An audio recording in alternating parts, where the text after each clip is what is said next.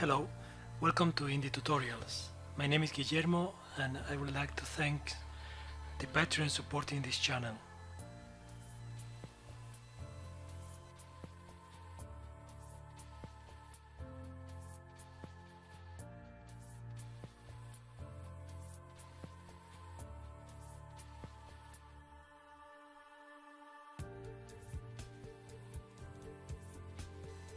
Hello everyone, in this video I want to demonstrate uh, the quickest basic setup to use Animancer as your animation system. This is going to be like having the old animation, legacy animation, where you have your component uh, with all the animations to play. So let's go ahead. What we need is uh, first of all to have a running action act, uh, 3D action RPG demo from from ORK Framework site. So if we hit play, this is a running application, a running demo already, as you can see. So what I did also is to download from the asset store the Animancer Lite plugin. This is the free one for you to test. I have created a demo folder. I have duplicated the Ellen prefab and assign a different material so it will um, be different than the one coming from the demo. I also what I did is to uh, duplicate some of the animations because bear in mind that uh, the demo is using root motion to move the character. So if, if I now uh, click on one of these duplicated animations and select the mesh so if I click play now it's running on place. And I achieved that just by baking the root transform position as well. Same for the sprint which is basically the same uh, same animation but uh, uh, faster. And then we have also the walk. So already baked into the root transform position. The loop for the walk animation is not good.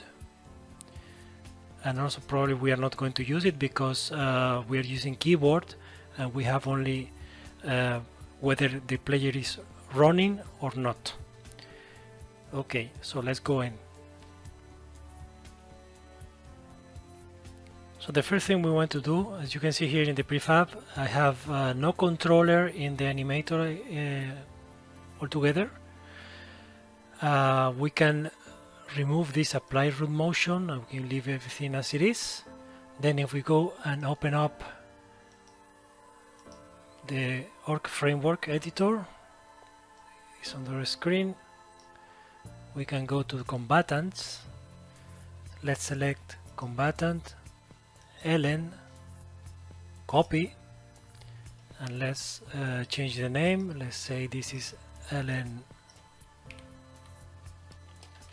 animancer click ok. Now we need to go into the animations and movement section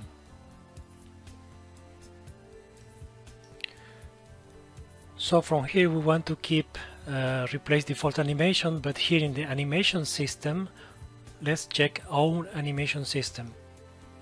And let's check and select custom one.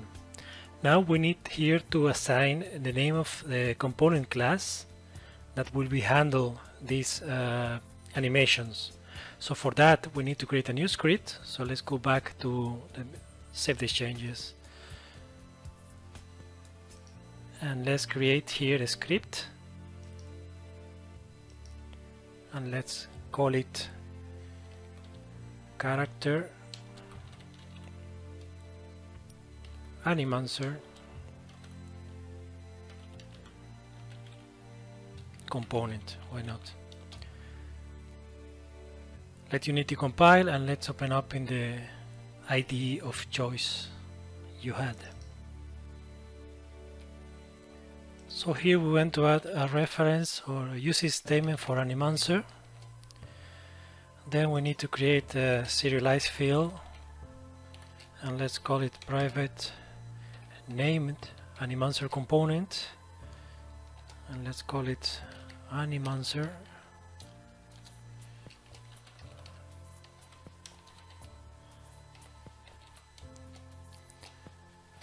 then let's assign a property to it as well so public name it animancer component. Animancer and this will get our serialized property. So in order to ORK framework to work with a custom system we only need to provide a function or a method to play the animation and another to stop the animation. So let's create those. Public void play? What the heck? Play thank you. And the public void stop.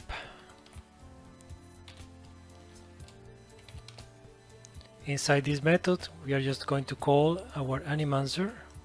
So animancer dot try state try sorry try play and as a parameter we are going to pass the name of the animation. So let's create here a string. Anim to play. And let's pass it. If I can copy here the parameter there we go. And let's do the same here. So a string anim to stop in this case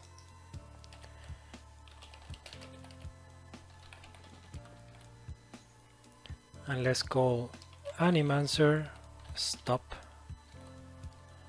And the name of the animation we want to stop. So let's uh, unity let compile the script. And let's go back to the unity editor. Click on the prefab that you duplicated about uh, from Ellen. And let's open up the prefab. Let's select the root and assign our script now we need of course to add a named animator component to it. Let's move it up and assign the component to our serialized field. Okay. You can see automatically it detected that uh, the animator in the root.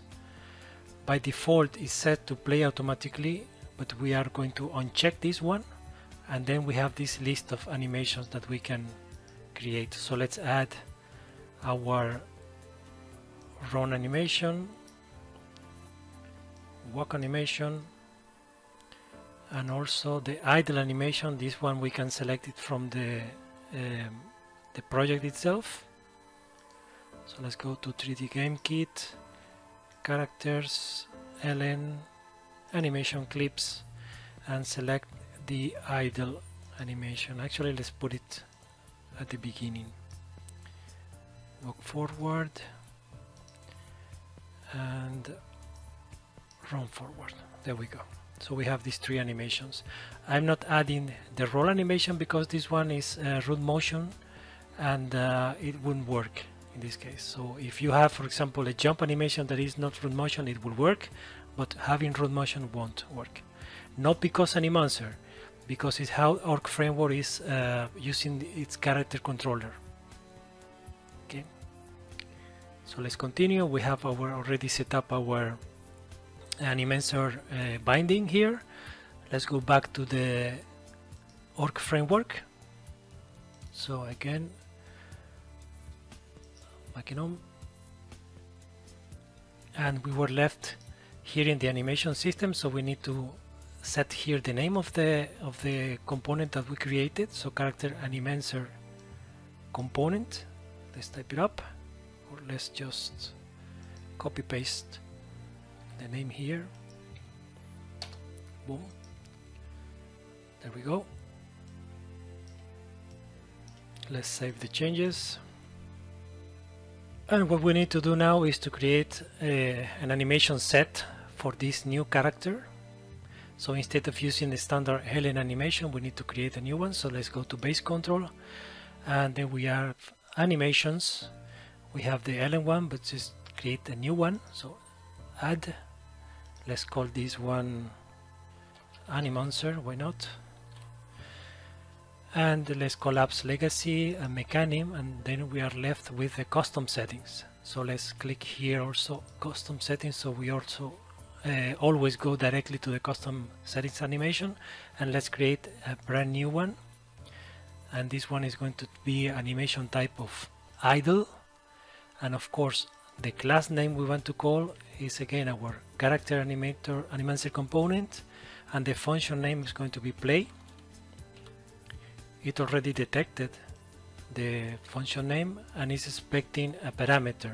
Of course this parameter is of type of string and the name of the animation it needs to match the name of the animation we added. So in this case is Ellen idle and to stop the stop function we need to again add the class name.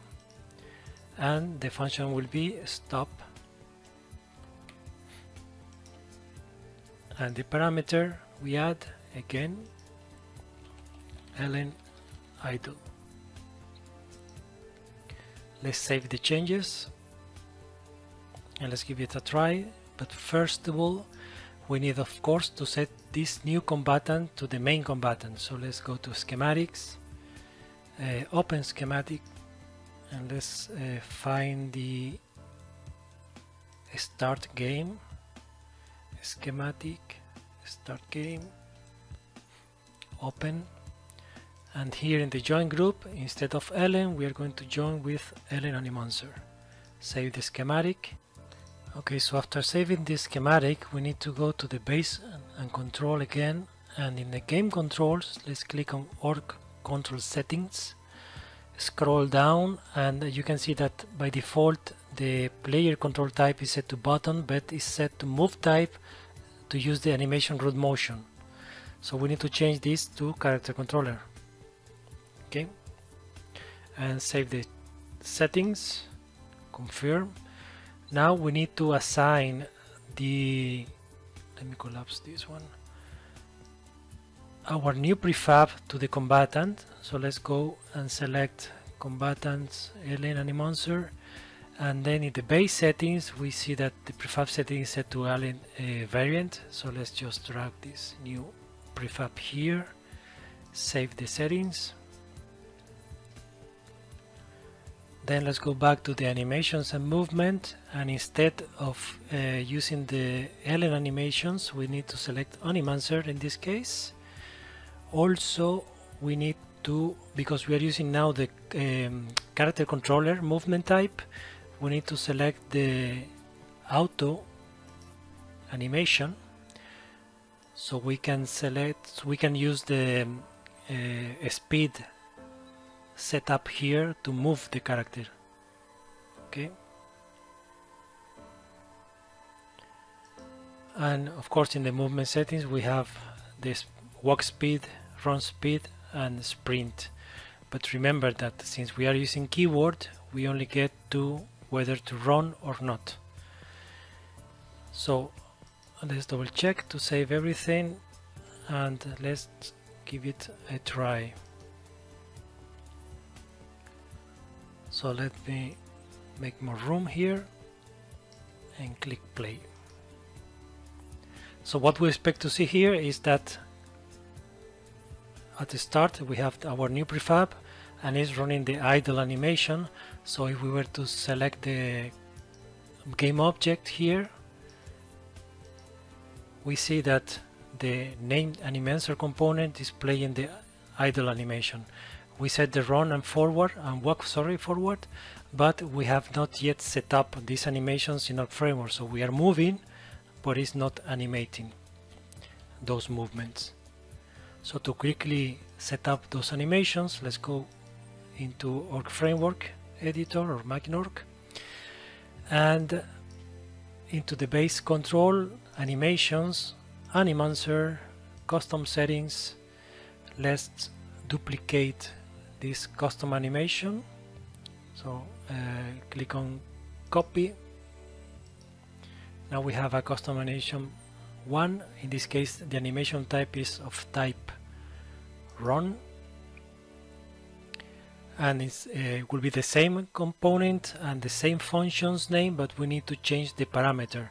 And we set the name to run forward. So let's copy this the name of the animation in the play and in the stop. And let's save the changes. Now let's test. Click on play.